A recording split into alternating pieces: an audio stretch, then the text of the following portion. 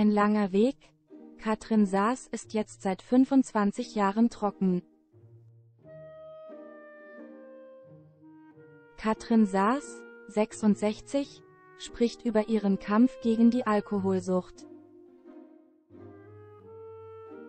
Die Schauspielerin ist auf der Leinwand überaus erfolgreich. Für ihre Rolle in Goody Bee, Lenin an der Seite von Daniel Brühl, 44, erhielt sie beispielsweise die Ehrennadel der Goldenen Leinwand, außerdem zahlreiche Fernsehpreise und weitere Auszeichnungen. Doch mit dem Ruhm kamen auch Schattenseiten, nun spricht Katrin über ihren langen Weg aus der Sucht. Im MDR Riverboot erinnert sich die Charakterdarstellerin an ihre dunkelste Zeit zurück. Daraus bestand 20 Jahre mein Leben. Ich bin daran fast gestorben und habe nach neun Stunden ohne Alkohol diesen berühmten Entzugskrampf. Da bin ich dann ins Krankenhaus.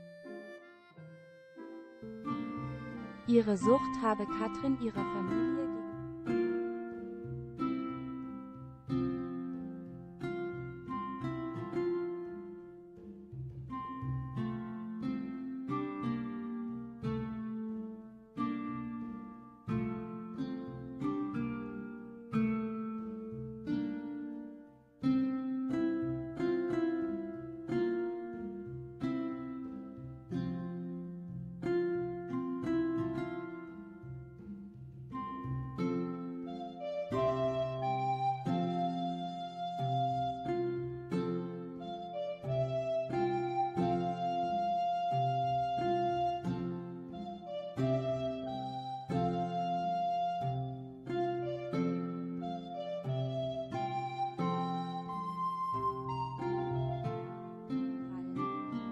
lasse mich gern ins Leben fallen und es ging immer weiter, zeigt sie sich optimistisch.